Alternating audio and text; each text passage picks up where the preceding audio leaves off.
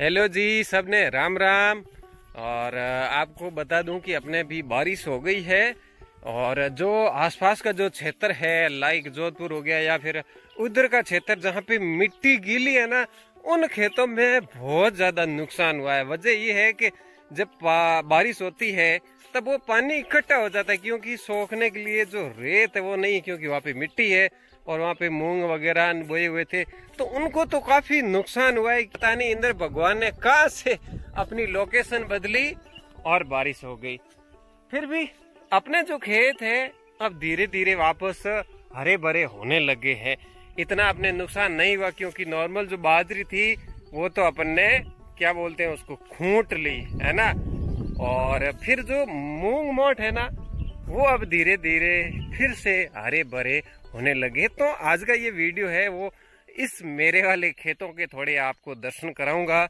और आप भी मुझे बताने कि आपके खेतों में उधर क्या क्या होता है। और फ़िलहाल जो कंडीशन है जो कि बारिश की वजह से काफ़ी नुकसान हुआ है आ, कितना हुआ है वो भी मुझे बताना क्योंकि अपन भी किसान है तो एक दूसरे के हाल पूछने में क्या जाता है।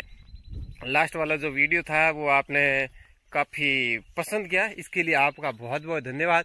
फ़िलहाल चलते हैं। इस क्लिप के साथ आपको दिखाते हैं हमारे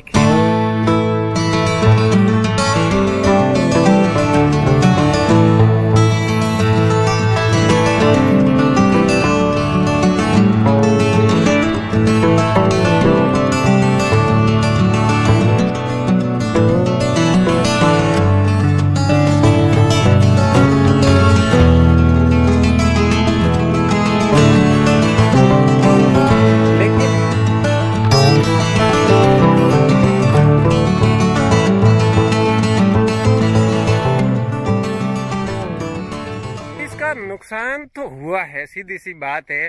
फ़ायदा उस फ़सल को हुआ जैसे कि मोठ मूंग गवार और तिल इन फ़सलों को है ना काफ़ी फ़ायदा पहुँचा है। क्यों? आप बैकग्राउंड में भी जैसे मैंने बताया तो एकदम वो हरी भरी फ़सल है।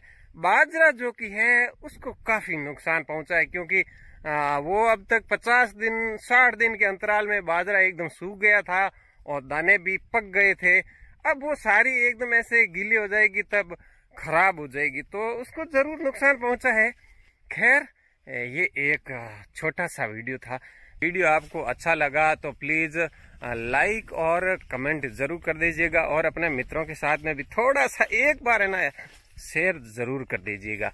मिलते हैं अपन एक और बहुत ही शानदार वीडियो के साथ। तब तक हँसते रहिए, मुस्कुराते रहिए और देखते रहिए अच्छे अच्छे वीडियो।